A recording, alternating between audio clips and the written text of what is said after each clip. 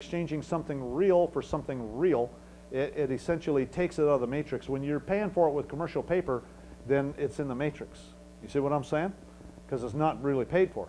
Okay, again, it comes down to a usufruct. Okay, are you familiar with a usufruct? U-S-U-F-R-U-C-T. Look it up. Okay, we're going to be talking about usufructs. Okay, think about it. No doubt.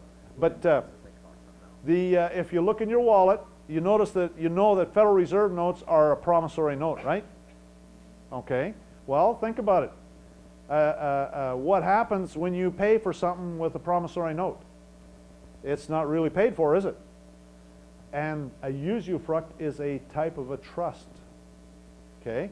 And so therefore what happens when you pay for something with a promissory note, that's why they're spelling your name in all block capital letters, because it, it when you pay for something with a promissory note, uh, it's not paid for. And so it's set up, you're setting up a trust essentially, which is the usufruct. You get to use it, but you don't own it. It's not owned until it's paid for. But what happened is he exchanged labor for legal and equitable title in the vehicle. You see what I'm saying? So something real for something real, he took it out of the matrix. And, and now it's paid for. You see what I'm saying? It's not there's no commercial paper involved. And that's why when I buy my land, and we'll talk about this, I, I pay for it with coin, with silver coin, and I put it on a deed. Okay?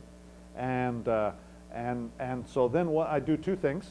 I pay for it with coin, and I, I bring forward all the rights and privileges of the land patent. And, and uh, um, so that's what I do. We'll talk about land when the time comes. That's coming. Anyways, so um, and we'll talk about that too. Something to think about. Um, so I make up my own picture ID. I record it. Are you a person? A person's a fictitious entity. A motor vehicle's commercial. Uh, private vehicle. I, I tell them in there that I'm not a person, okay, and I tell them that my motor vehicle is is a private vehicle. Okay, if you look in there, you'll see that uh, it says. As a matter of fact, my truck. If you go look at the truck out here, Okay, it's got private vehicle. You want to go out there, we'll go out there at break and I'll show you. It's got private vehicle on the, in, on the rear tailgate. Okay? And, and the whole idea being is that it's not a motor vehicle. It's a private vehicle. And uh, it's not involved in commerce. You see what I'm saying? And, and because I'm the king, okay, I don't care whose plate's on it. And I tell them that. I tell them I might have RT plates. And if, and if you look in my document that I serve on them, and that's over here, the notice and demand to corporate commercial agents, Okay? I've got sample RT plates in there.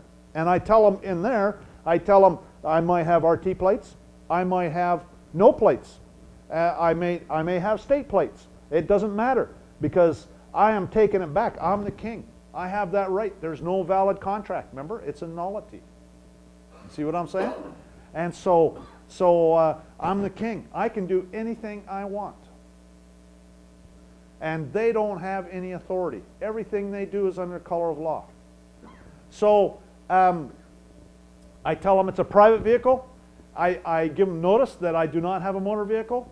I've seen vehicles in Arizona that have registration that's been expired for years. You know, might be five, ten years. And they got private vehicle on them. They're still driving them around. And I'm guessing it's probably because the cops aren't bothering them. You see what I'm saying? Again, you got to notice them friend of mine told me that a cop came up to him. This was here in Texas, and I can't remember who that was. But somebody here in Texas told me that a cop came up to him and said, quote, why is my computer telling me to leave you alone? I bet that's what they're saying about me now. Okay, I tell them, you're not authorized to serve commercial process on me. This defeats them in another way. You think that's all commerce. And so they're they're giving you a ticket. That's commercial process. Okay?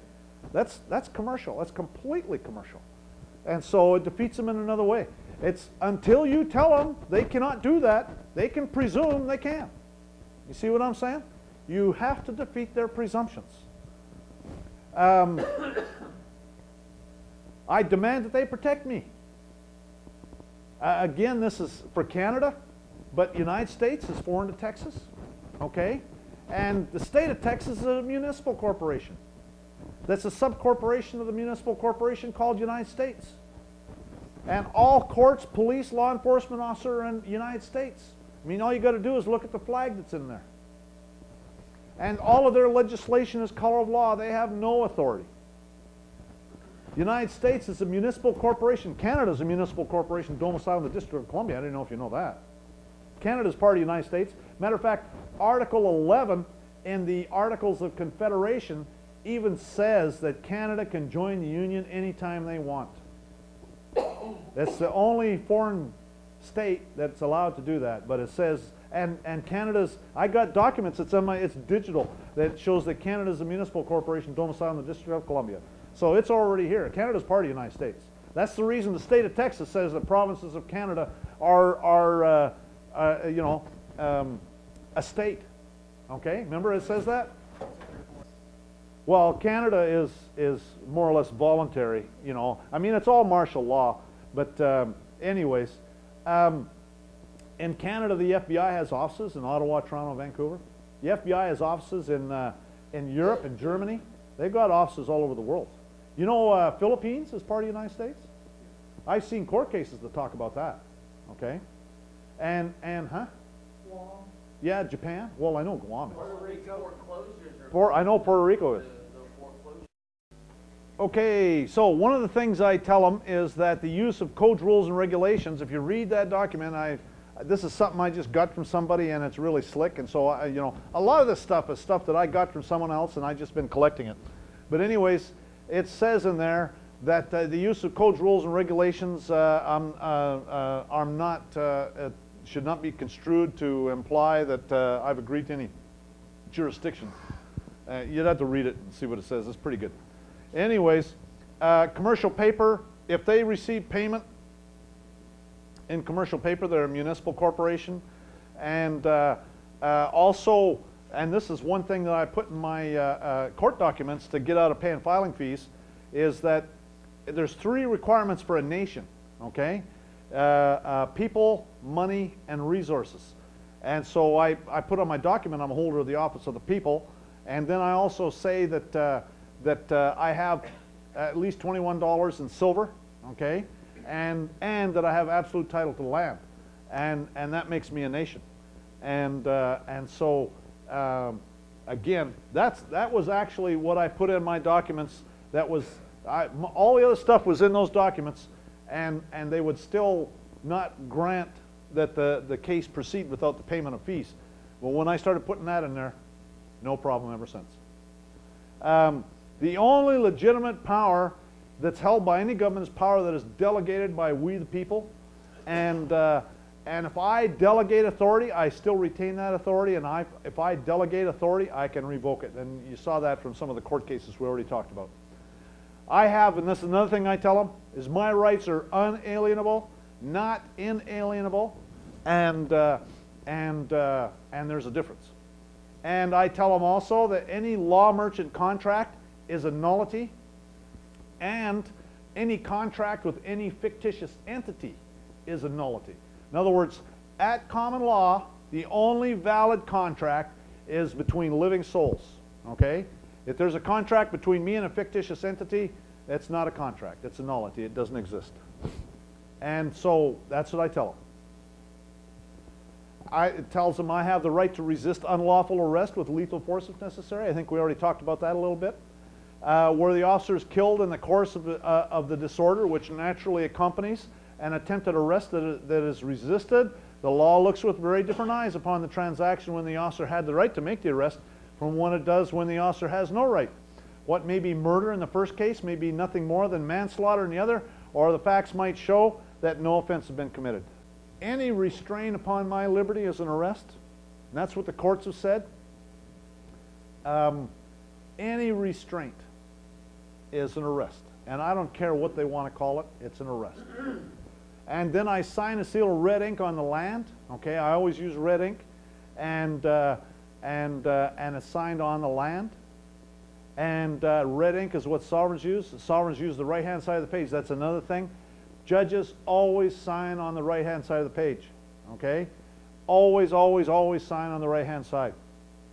Witnesses. I like to use two or three witnesses. Actually, I haven't even been using witnesses lately because I'm not sure that it's really necessary. Actually, getting, getting uh, uh, that chief judge to effect service for me is absolutely perfect. And uh, I don't need witnesses with that. and uh, so, so, uh, but if you could get 26 witnesses, you could essentially say that I can convene a grand jury. and so that's, that's kind of intimidating. Um, I always send my notice and demand by registered mail. Registered mail is kept under lock and key, and there's a chain of custody. A better way to effect service is personal service with three or four people to ma each make an affidavit of service, but that is a lot of hassle. And uh, a lot of these judges don't make themselves easily accessible, and so uh, that makes it even more difficult. And the object is, is to build a case against them, and they know that's what's going on. And hopefully you never have to proceed, but at least you got, you've laid the foundation. If they do anything other than grovel, file a criminal complaint. I let them prove they're honoring their oath of office, and I attach my evidence, and I send the criminal complaint to the boss. If possible, record the criminal complaint into the public with the county recorder's office. After 30 days, I add their boss, and I already talked about this. Keep going up to the chain of command, up to the queen or the president. Uh, add the queen or the president, record the document into the public, and send them a copy. And I always use registered mail or personal service with witnesses. This is an interesting thing in Canada. The Queen has decided recently not just to rubber stamp whoever the Prime Minister recommends for Governor General. In the past, in Canada, the Prime Minister would make a recommendation and the Queen would just go ahead and do it. And now she's hand-picking the Governor Generals. And, the, and, uh, and, and I think it's because of stuff that I've been her and some other friends of mine. Um, there's a friend of mine actually that's been her lots of interesting stuff, eh? And, uh, and he just accuses her of treason and perjury and all that stuff, eh? So uh, anyway, so, so I think, matter of fact, this last Governor General took office here like last September, and I'll bet you, matter of fact, he even said that he went over there and, uh, and visited with the Queen for about a week, and I'll bet you she had a pile of paperwork there, some of it from me, and she said, you know, I really wish I didn't get any of this stuff.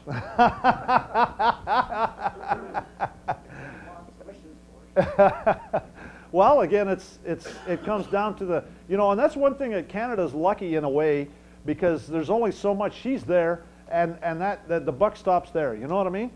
And, and, and so in a way, uh, uh, uh, it, you know, there's, there's, they're limited as to what, that's why in Alberta, the worst thing they can do is you can't register your vehicle to get your driver's license. Well, whoop-de-doo. Here I was driving around in Alberta with Texas plates for like six months. and after a while, they, I mean, they didn't, of course, I, you know, I usually watch for the cops anyways, you know, but sometimes I miss it. At any rate, um, when you use this procedure in an ensuing action, it essentially becomes a counterclaim. Always take the initiative. Go on the attack. You got to be, what do they call it in engineering? Proactive. You got to be proactive. Okay? This in engineering, that's what they tell us they want us to do is they want us to be proactive, okay? You got to be proactive. You got to be on the attack. You show up the judge's office. Now, you can do this here. You can't do this in Canada. Uh, show up at the judge's office a few days before the hearing with witnesses and, and demand, you know. You let them know who's boss. When in court, they always ask you, do you understand? Now, this is something that